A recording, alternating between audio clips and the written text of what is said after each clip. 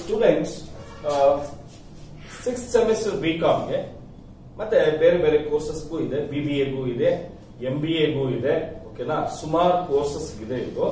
Funds flow statement management accounting ಅಲ್ಲಿ funds flow statement ಅಲ್ಲಿ ಯಾವ ರೀತಿ ಮಾಡೋದು? ನೋಡಿ ಫಂಡ್ಸ್ ಫ್ಲೋ ಸ್ಟೇಟ್ಮೆಂಟ್ ಮಾಡಬೇಕಾದ್ರೆ ನಮಗೆ ಮೇಜರ್ ಆಗಿ ಮೂರು ಅಕೌಂಟ್ ಅನ್ನ ಪ್ರಿಪೇರ್ ಮಾಡಬೇಕಾಗುತ್ತೆ. ಫಂಡ್ಸ್ ಅಂದ್ರೆ ಏನು? ಬಿಸ್ನೆಸ್ನಲ್ಲಿ ಒಂದು ಕಂಪನಿನಲ್ಲಿ ಎಷ್ಟು ಕ್ಯಾಶ್ ಬ್ಯಾಲೆನ್ಸ್ ಇದೆ, ಎಷ್ಟು ಬ್ಯಾಂಕ್ ಬ್ಯಾಲೆನ್ಸ್ ಇದೆ, ಎಷ್ಟು ಅಸೆಟ್ಸ್ ಡೈಲಿ ಓಕೆನಾ ನಾವು ಯಾವ ಅಸೆಟ್ಸ್ ಅನ್ನ ಡೈಲಿ ಬಿಸ್ನೆಸ್ನಲ್ಲಿ ಯೂಸ್ ಮಾಡ್ತೀವಿ, ಯಾವ ಲೈಬಿಲಿಟೀಸ್ ಡೈಲಿ ನಾವು ಕೊಡೋದು, ತಗೊಳ್ಳೋದು ಮಾಡ್ತಾ ಇರ್ತೀವಿ ಅಂತದನ್ನ ನಾವು ವರ್ಕಿಂಗ್ ಕ್ಯಾಪಿಟಲ್ ಅಂತ ಹೇಳ್ತೀವಿ ಓಕೆನಾ ಆ ವರ್ಕಿಂಗ್ ಕ್ಯಾಪಿಟಲ್ನ ನಾವು ಏನಂತ ಹೇಳ್ತೀವಿ? ಫಂಡ್ಸ್ ಅಂತ ಹೇಳ್ತೀವಿ. ಓಕೆನಾ ಹಾಗೆ ಕ್ಯಾಶ್ ಮತ್ತೆ ಬ್ಯಾಂಕ್ ಬ್ಯಾಲೆನ್ಸ್ ಕೂಡ ಫಂಡ್ಸ್ ಅಂತ ಹೇಳ್ತೀವಿ. ಸಿ ಒಂದು ಕಂಪನಿಗೆ ಫಂಡ್ಸ್ ಕ್ಯಾಶ್ ಬರೋದು, ಹೋಗೋದು ಅನೇಕ ರೀತಿಗಳಲ್ಲಾಗುತ್ತೆ ಕರೆಕ್ಟಾ ಮೊದಲನೇದು ನಾನು ಹೇಳಿದೆ ಕರೆಂಟ್ ಅಸೆಟ್ಸ್ ಮತ್ತೆ ಕರೆಂಟ್ ಲಯಬಿಲಿಟೀಸ್ ವರ್ಕಿಂಗ್ ಕ್ಯಾಪಿಟಲ್ ಮುಖಾಂತರ ದುಡ್ಡು ಬರುತ್ತೆ, ದುಡ್ಡು ಹೋಗ್ತಾ ಇರುತ್ತೆ. ಅದನ್ನೇ ನಾವು statement showing changes in working capital ಮುಖಾಂತರ ಎಷ್ಟು ಫಂಡ್ಸ್ ಬಂದಿದೆ, ಎಷ್ಟು ಕ್ಯಾಶ್ ಹೋಗಿದೆ. ಫಂಡ್ಸ್ ಏನಾದ್ರೂ ಇನ್ಕ್ರೀಸ್ ಆಗಿದ್ಯಾ? ಫಂಡ್ಸ್ ಏನಾದ್ರೂ ಡಿಕ್ರೀಸ್ ಆಗಿದ್ಯಾ? ಹೋದ ವರ್ಷಕ್ಕೂ, ಈ ವರ್ಷಕ್ಕೂ ಕಂಪೇರ್ ಮಾಡಿದ್ರೆ ಇನ್ಕ್ರೀಸ್ ಆಗಿದ್ಯಾ ಡಿಕ್ರೀಸ್ ಆಗಿದ್ಯಾ ಅಂತ ಕ್ಯಾಲ್ಕುಲೇಟ್ ಮಾಡೋದನ್ನ ಸ್ಟೆಪ್ ನಂಬರ್ ಒನ್ ಅಲ್ಲಿ ಫಂಡ್ಸ್ ಫ್ಲೋ ಸ್ಟೇಟ್ಮೆಂಟ್ ಅಲ್ಲಿ ಮಾಡ್ತೀವಿ ಅರ್ಥ ಆಯ್ತಾ? ಎರಡನೇ ಸ್ಟೆಪ್ನಲ್ಲಿ statement of sources and applications ಅಂತ ಹೇಳ್ತೀವಿ ಅಂದ್ರೆ ನಮಗೆ ಎಷ್ಟು ದುಡ್ಡು ಬಂದಿದೆ ಯಾವ್ಯಾವ ರೂಪದಲ್ಲಿ ಬಂದಿದೆ, ಅದನ್ನ ಸೋರ್ಸಸ್ ಆಫ್ ಫಂಡ್ಸ್ ಅಂತ ಹೇಳ್ತೀವಿ. ಈಗ ದುಡ್ಡು ಅನೇಕ ರೀತಿಯಲ್ಲಿ ಬರುತ್ತೆ ಕರೆಕ್ಟಾ ಒಂದು ಕಂಪನಿಗಾದ್ರೆ ಈಕ್ವಿಟಿ ಶೇರ್ಸ್ ಅನ್ನ ಇಶ್ಯೂ ಮಾಡಿದ್ರೆ ದುಡ್ಡು ಬರುತ್ತೆ ಪ್ರಿಫರೆನ್ಸ್ ಶೇರ್ಸ್ನ ಇಶ್ಯೂ ಮಾಡಿದ್ರೆ ದುಡ್ಡು ಬರುತ್ತೆ ಡಿಬೆಂಚರ್ಸ್ನ ಇಶ್ಯೂ ಮಾಡಿದ್ರೆ ದುಡ್ಡು ಬರುತ್ತೆ ಬ್ಯಾಂಕ್ ಅಲ್ಲಿ ಸಾಲ ತಗೊಂಡ್ರೆ ದುಡ್ಡು ಬರುತ್ತೆ.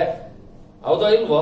ಮತ್ತೆ ಯಾವ್ದಾದ್ರು ಇನ್ವೆಸ್ಟ್ಮೆಂಟ್ ಮಾಡಿದ್ರೆ, ಯಾವ್ದಾದ್ರು ಡಿಬೆಂಚರ್ ಮೇಲೋ ಅಥವಾ ಬಾಂಡ್ಸ್ ಮೇಲೋ, ಅದರಿಂದ ಇಂಟ್ರೆಸ್ಟ್ ನಮಗ್ ಬರುತ್ತೆ.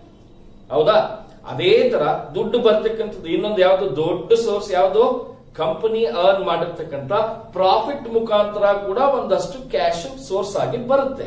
ಕರೆಕ್ಟಾ ಇಷ್ಟು ಬಂದಿರತಕ್ಕಂಥ ದುಡ್ಡನ್ನ ಕ್ಯಾಶ್ ಅನ್ನ ಫಂಡ್ಸ್ ಅನ್ನ ನಾವು ಯಾವ್ಯಾವ ಉದ್ದೇಶಕ್ಕೆ ಯಾವ್ಯಾವ ಉದ್ದೇಶಕ್ಕೆ ಬಳಸ್ಕೊಂಡಿದೀವಿ ಖರ್ಚು ಮಾಡಿದೀವಿ ಅದನ್ನೇ sources and applications of funds ಅಂತ ಹೇಳ್ತೀವಿ. Inflow of funds outflow of funds inflow of funds outflow of funds ಎಷ್ಟು ಬಂದಿದೆ ದುಡ್ಡು? ಯಾವ್ಯಾವ್ದ್ರಿಂದ ಬಂದಿದೆ? ತೋರಿಸ್ಬೇಕಾಗುತ್ತೆ. ಬಂದಿರೋ ದುಡ್ಡು ಯಾವ್ಯಾವ ಉದ್ದೇಶಕ್ಕೆ ಖರ್ಚು ಮಾಡಿದ್ದೀರಿ? ಇದನ್ನ ಮಾಡೋದು ದೊಡ್ಡ ಕೆಲಸನ? ಇಲ್ಲ. ಈಗ, ಇನ್ನ ಸರ್ ಇದೇನ್ ಸರ್ ಇದೇನೋ ಹಾಕಿದಿರ adjusted profit and loss account ಅಂತ ಹೇಳಿ. ಸಿ ಒಂದ್ ಕಂಪನಿ ಏನ್ ಮಾಡುತ್ತೆ? ಜನವರಿಯಿಂದ ಡಿಸೆಂಬರ್ಗೆ ಅಥವಾ ಏಪ್ರಿಲ್ ಇಂದ ಮಾರ್ಚ್ಗೆ ಬಿಸ್ನೆಸ್ ಮಾಡುತ್ತೆ. ಹೌದಾ? ಮಾಡ್ಬಿಟ್ಟು ಏನ್ ಮಾಡುತ್ತೆ? ಒಂದು profit and loss account prepare ಮಾಡುತ್ತೆ. ಆ ಪ್ರಾಫಿಟ್ ಅಂಡ್ ಲಾಸ್ ಅಕೌಂಟ್ ಅಲ್ಲಿ ಪ್ರಾಫಿಟ್ ಇಷ್ಟು ಬಂದಿದೆ ಅಂತ ಗೊತ್ತಾಗುತ್ತೆ. ಅಷ್ಟು ಪ್ರಾಫಿಟ್ ಎಲ್ಲಿರ್ಬೇಕು? ನಮ್ ಕೈಯಲ್ಲಿರ್ಬೇಕು. ಆದ್ರೆ ಬುಕ್ ಅಲ್ಲಿ ಅಂದ್ರೆ ನಮಗೆ ಪ್ರಾಫಿಟ್ ಅಂಡ್ ಲಾಸ್ ಅಕೌಂಟ್ ಅಲ್ಲಿ ತೋರಿಸಿರ್ತಕ್ಕಂಥ ಪ್ರಾಫಿಟ್ ಒಂದು ಅಮೌಂಟ್ ಇರುತ್ತೆ. ನಮ್ಮ ಹತ್ರ ಕ್ಯಾಶ್ ಎಣಿಸಿದ್ರೆ ಅದೇ ಒಂದು ಅಮೌಂಟ್ ಇರುತ್ತೆ. ಅರ್ಥ ಆಗ್ತಿದ್ಯಾ ಒಂದಷ್ಟು ಚೇಂಜಸ್ ಆಗಿರುತ್ತೆ. ವ್ಯತ್ಯಾಸ ಇರುತ್ತೆ. ಸರ್, ಯಾಕೆ ವ್ಯತ್ಯಾಸ ಇರುತ್ತೆ ಸರ್ ಅಂತ ಹೇಳಿದ್ರೆ ಕೆಲವು ಎಕ್ಸ್ಪೆನ್ಸಸ್ ಇರುತ್ತೆ. ಓಕೆನಾ ಆ ಕೆಲವು ಎಕ್ಸ್ಪೆನ್ಸಸ್ ಆಕ್ಚುಲ್ ಆಗಿ ಬಿಸ್ನೆಸ್ಗೆ ಸಂಬಂಧಪಟ್ಟಿರ್ತ ಪಡೆದೇ ಇರತಕ್ಕಂತ ಎಕ್ಸ್ಪೆನ್ಸಸ್ ಆಗಿರುತ್ತೆ. ಅಥವಾ ಆ ಎಕ್ಸ್ಪೆನ್ಸಸ್ ಎಲ್ಲ ಏನಾಗಿರುತ್ತೆ ಅಂದ್ರೆ ಬರೀ ಹೆಸರಿಗೆ ಮಾತ್ರ ಎಕ್ಸ್ಪೆನ್ಸಸ್ ಆದ್ರೆ ಆ ದುಡ್ಡು ಯಾರಿಗೂ ಕೊಟ್ಟೇ ಇರಲ್ಲ. ಅದನ್ನ ನ್ಯಾನ್ ನಾನ್ ಕ್ಯಾಶ್ ಎಕ್ಸ್ಪೆನ್ಸಸ್ ಅಂತ ಹೇಳ್ತೀವಿ. ಒಂದು ಒಂದು ಎಕ್ಸಾಂಪಲ್ ಹೇಳ್ತೀನಿ ನಿಮಗೆ. ಒಂದು ಬಿಸ್ನೆಸ್ನಲ್ಲಿ ಒಂದು ಮೆಷಿನರಿ ಇದೆ, ಒಂದು ಪ್ಲಾಂಟ್ ಇದೆ, ಒಂದು ಬಿಲ್ಡಿಂಗ್ ಇದೆ, ಒಂದು ಫರ್ನಿಚರ್ ಇದೆ, ಇದೆಲ್ಲ ಯೂಸ್ ಮಾಡ್ತೀವಿ. ಮಾಡ್ತೀವ ಇಲ್ವಾ? ಅದ್ರ ಬೆಲೆ ಜಾಸ್ತಿ ಆಗುತ್ತಾ, ಕಡಿಮೆ ಆಗುತ್ತಾ? ಕಡಿಮೆ ಆಗುತ್ತೆ. ಅದನ್ನೇನಂತ ಕರಿತೀವಿ? ಡಿಪ್ರಿಸಿಯೇಷನ್ ಅಂತ ಕರಿತೀವಿ. ಡಿಪ್ರಿಸಿಯೇಷನ್ ಅಂದ್ರೆ ಯಾರಾದ್ರೂ ಬೇರೆಯವ್ರಿಗೆ ಕರೆದು ಬಿಟ್ಟು ತಗಪ್ಪ, ನಾನು ಯೂಸ್ ಮಾಡಿದ್ದೀನಿ ಪ್ಲಾಂಟ್ ಅಂಡ್ ಮಿಷನರಿ ನಿಮ್ಗೆ ಕೊಡ್ತಾ ಇದ್ದೀನಿ ದುಡ್ಡು ಅಂತ ಕೊಡ್ತೀರಾ? ಆ ದುಡ್ಡು ಯಾರ ಹತ್ರ ಇರುತ್ತೆ? ಬಿಸ್ನೆಸ್ ನಲ್ಲೇ ಇರುತ್ತೆ. ಹಾಗಾದ್ರೆ ಏನಕ್ಕೆ ಮೈನಸ್ ಮಾಡಿದ್ರೆ ಆಕ್ಚುಲಿ ನಾವು ಮಾಡಿರ್ತಕ್ಕಂಥ net profit profit and loss account ಅಲ್ಲಿ ತೋರಿಸಿರೋದಲ್ಲ. ಇನ್ನು ಬೇರೆ ಅಮೌಂಟೇ ಇರುತ್ತೆ ನಮ್ಮ ಹತ್ರ ಕ್ಯಾಶು ಅರ್- ಅರ್ಥ ಆಯ್ತಾ? ನಾವು ಬಿಸ್ನೆಸ್ ಮಾಡಿರೋದ್ರಿಂದ ಪ್ರಾಫಿಟ್ ಬೇರೆ ಅಮೌಂಟ್ ಇರುತ್ತೆ. ಆದ್ರೆ ಇವನೇನ್ ಮಾಡಿದ್ದಾನೆ ಕಡಿಮೆ ಇದೆ ಇಲ್ಲಿ ಕಡಿಮೆ, ಇಲ್ಲಿ ಜಾಸ್ತಿ ತೋರಿಸ್ತಾ ಇದೆ, ಅಲ್ಲಿ ಕಡಿಮೆ ಇದೆ. ಅಥವಾ ಇಲ್ಲಿ ಜಾಸ್ತಿ ಇದೆ, ಅದಕ್ಕಿಂತಲೂ ಜಾಸ್ತಿ ಅಲ್ಲಿದೆ. ಯಾಕೆ ಅಂದ್ರೆ ಡಿಪ್ರಿಸಿಯೇಷನ್ ಯಾರಿಗೂ ಕೊಟ್ಟಿಲ್ಲ. ಕರೆಕ್ಟಾ ಆದ್ರೆ ಮೈನಸ್ ಮಾಡಿದೀವಿ. ಇನ್ನು ಪ್ರಾವಿಷನ್ ಫಾರ್ ಟ್ಯಾಕ್ಸೇಷನ್ ಅಂತ ಹೇಳ್ತೀವಿ ಪ್ರಾವಿಷನ್ ಫಾರ್ ಟ್ಯಾಕ್ಸೇಷನ್ ಅಂದ್ರೆ ಏನು? ಹೋದ್ ವರ್ಷ ಬಂದಿರೋ ಪ್ರಾಫಿಟ್ಗೆ ಟ್ಯಾಕ್ಸ್ ಯಾವ ವರ್ಷ ಕೊಡ್ತೀವಿ ಈ ವರ್ಷ ಕೊಡ್ತೀವಿ ಈ ವರ್ಷ ಬಂದಿರೋ ಪ್ರಾಫಿಟ್ಗೆ ಟ್ಯಾಕ್ಸ್ ಯಾವಾಗ ಕೊಡ್ತೀವಿ ನೆಕ್ಸ್ಟ್ ಇಯರ್ ಕೊಡ್ತೀವಿ ನೆಕ್ಸ್ಟ್ ಇಯರ್ ಕೊಡೋ ಪ್ರಾಫಿಟ್ ಕೊಟ್ಟಿದ್ದೀರಾ ಟ್ಯಾಕ್ಸ್ನ ಕೊಟ್ಟಿಲ್ಲ. ದುಡ್ಡೆಲ್ಲ ಯಾರ ಹತ್ರ ಇರುತ್ತೆ? ನಮ್ಮ ಹತ್ರ ಇರುತ್ತೆ. ಹಾಗಾದ್ರೆ ನಮ್ಮ ಹತ್ರ ಇರೋ ದುಡ್ಡು ಒಂದು ಅಮೌಂಟ್ ಇಲ್ಲಿ ಪ್ರಾಫಿಟ್ ಅಂಡ್ ಲಾಸ್ ಅಕೌಂಟ್ ಇರೋ ಅಮೌಂಟ್ ಒಂದು.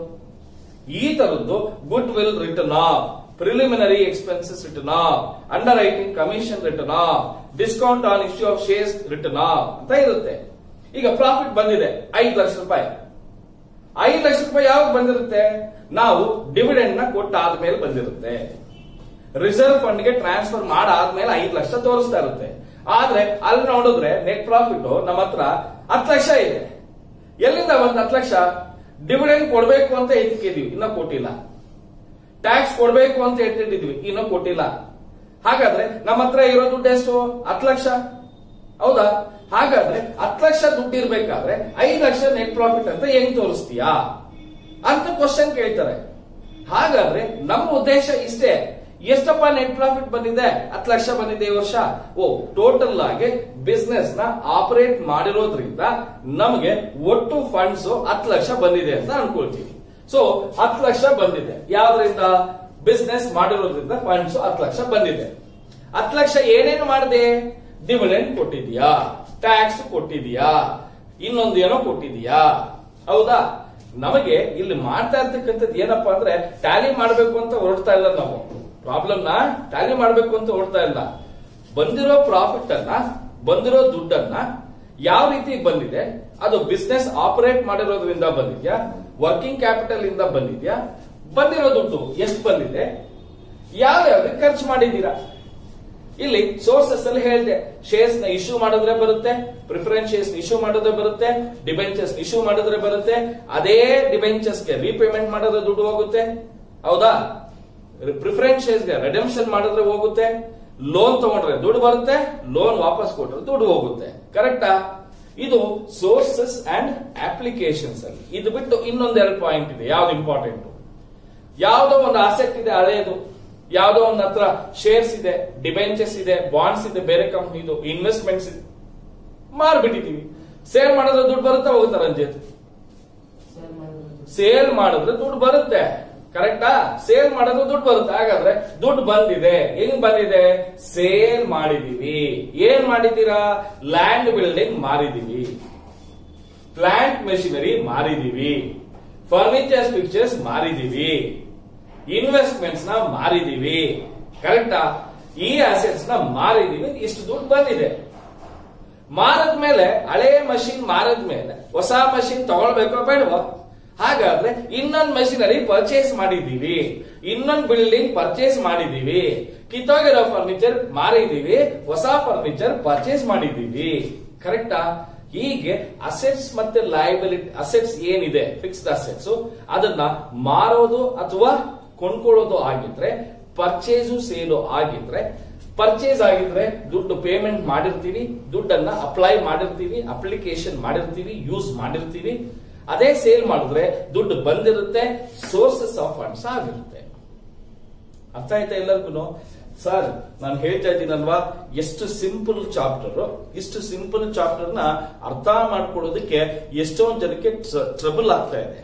ಅದಕ್ಕೆ ನಾನು ಫಂಡ್ಸ್ ಫ್ಲೋ ಸ್ಟೇಟ್ಮೆಂಟ್ಗೆ ಒಂದು ಮೂರು ರಿವಿಷನ್ ಪ್ರಾಬ್ಲಮ್ಸ್ನ ಮಾಡಬೇಕು ಅಂತ ಡಿಸೈಡ್ ಮಾಡಿದೀನಿ ಓಕೆನಾ? ಇಷ್ಟು ಅರ್ಥ ಮಾಡ್ಕೊಳ್ಳಿ. ಓಕೆನಾ? ಖಂಡಿತ ನಿಮ್ಗೆಲ್ರಿಗೂ ಕೂಡ ಕ್ಲಿಯರ್ ಆಗಿ ಅರ್ಥ ಆಗುತ್ತೆ.